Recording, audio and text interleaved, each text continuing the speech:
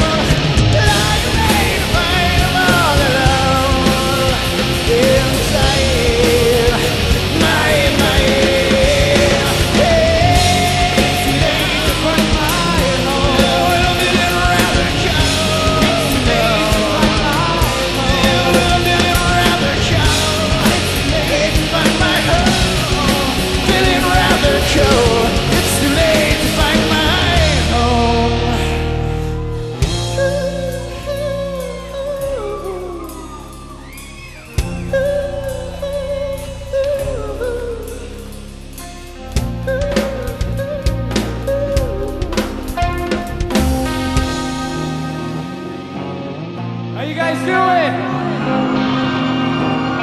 That's what I like to hear.